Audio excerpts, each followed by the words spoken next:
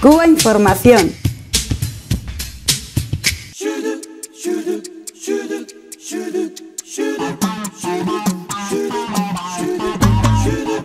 Cuba es el único país de Latinoamérica donde la educación universitaria, artística y especial es totalmente gratuita, incluyendo los libros de textos. Y bueno, esta noticia realmente no tiene repercusión en los medios, pero nosotros aquí, desde luego, nos regocijamos de hablar del tema y de traerlo a colación para que el que no lo sepa, pues que se entere. Así que vamos a, comentar.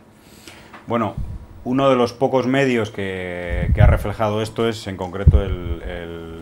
diario digital, ahora ya digital porque no está en papel público, eh, su corresponsal en La Habana, Fernando Rasberg, que también es corresponsal de BBC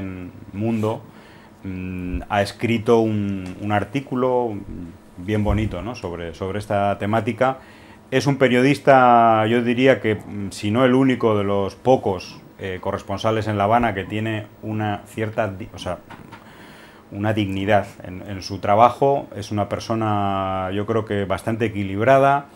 y que de vez en cuando, bueno, pues nos deleita con textos como este, en los cuales hay un reconocimiento claro desde el periodismo internacional de, bueno, logros incontestables de un país como Cuba, ¿no? Un país que a pesar de estar en una guerra económica puede eh, tener una educación gratuita hasta la universidad, hasta la educación especial, las propias residencias del alumnado eh, que vive en provincias son gratuitas, los libros de texto son entregados de manera gratuita,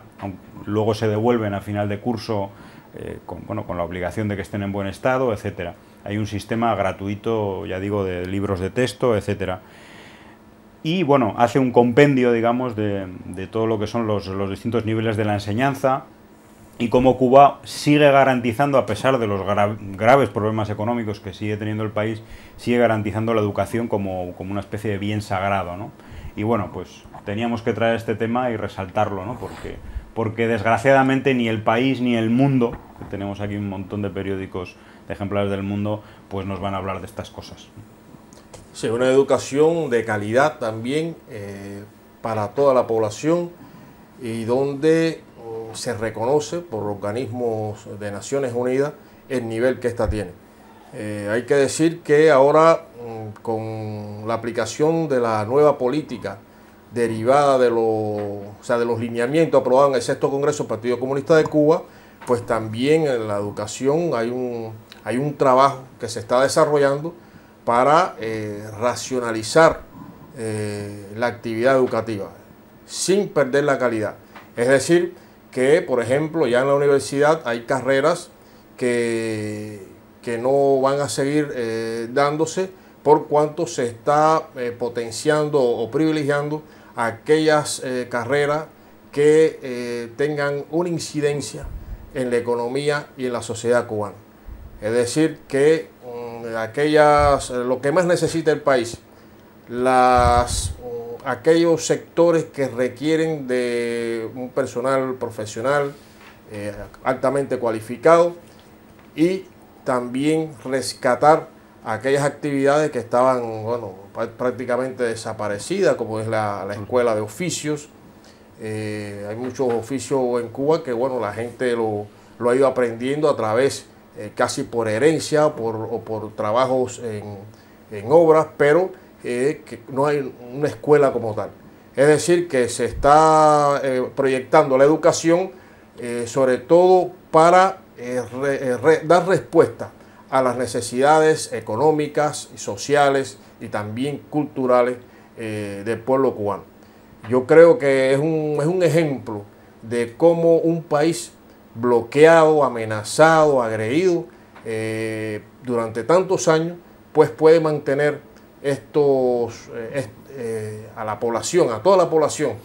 algo tan importante como es el sistema educativo y como bien se señala, gratuito, absolutamente gratuito, no solo para los cubanos, también para los miles, decenas de miles de estudiantes extranjeros que se forman en Cuba, que lo hacen de forma gratuita igualmente. Sí, bueno, y, también nos sirve para, ver el contraste ¿no? de políticas que se implementan en situaciones de crisis económica, ¿no? Y aquí el contraste lo podemos hacer muy bien con lo que está sucediendo en el Estado español. Eh, aquí en el Estado español, cuando hay una crisis económica, la política que se decide es no hay más remedio que recortar becas, subir las tasas de las matrículas, etc. Y sin embargo vemos que esto no es que sea el único camino posible. Hay otros países y hay otras experiencias en las que se tienen otro tipo de prioridades políticas y Cuba sería un caso fehaciente que ha demostrado hacerlo que incluso los momentos más difíciles del periodo especial, y hay que recordar que el Producto Interior Bruto, por ejemplo, por mencionar una cifra, entre el, entre el año 90 y 93 descendió entre un 35% y un 50%. Eh, son, son cifras que ni siquiera se acercan a lo que, por ejemplo, ha podido descender el Producto Interior Bruto en Grecia, que es un país que está devastado. Bueno, eh, incluso en esas circunstancias económicas, eh, en Cuba se decidió que, la educación es un derecho universal eh, que tiene que ser gratuito y se decidió mantener. Y, bueno, eh, la crisis, digamos, los momentos más agudos del periodo especial fueron superados.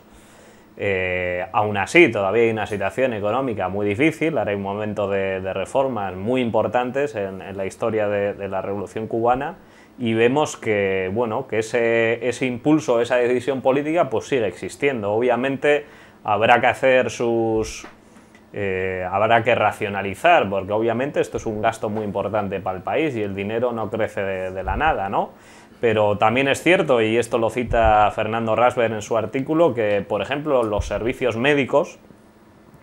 eh, son actualmente la primera fuente de divisas al país. Es decir, los servicios médicos que Cuba ofrece a países como Venezuela, ahora vemos que, con Brasil ha hecho un acuerdo para enviar 4.000 médicos, etc. Eso le provee de unas divisas, de unos ingresos que son superiores incluso a los del turismo eh, y las remesas juntos. Es decir, que, la inversión en la educación aparte de ser un derecho, también eh, es una inversión que luego se ve retornada, ¿no? que no ha sido en balde.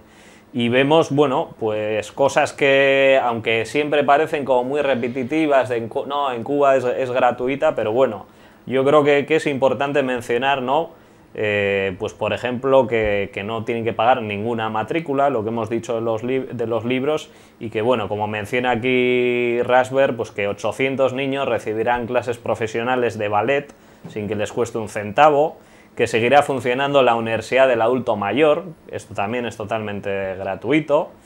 eh,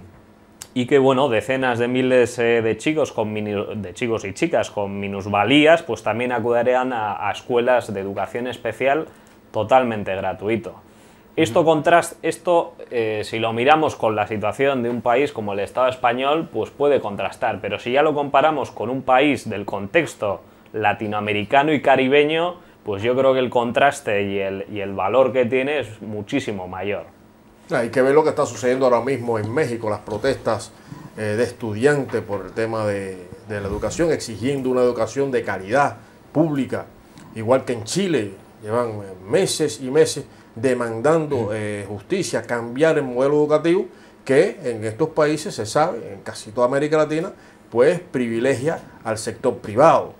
y lógicamente accede a la enseñanza las personas que tienen recursos económicos para ello. Es decir, que son un tipo de un sistema educativo elitista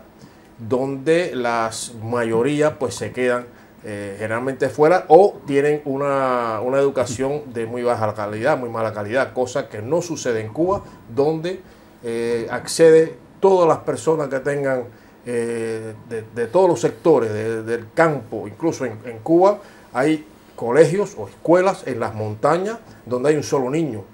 y tienen el maestro. Es decir, que eso es algo que debemos destacar siempre porque, bueno, si no lo decimos nosotros no aparece por ningún sitio. Y es una noticia que merece la pena teniendo en cuenta lo que es Cuba y lo que ha sufrido el pueblo cubano de política imperialista durante más de 50 años.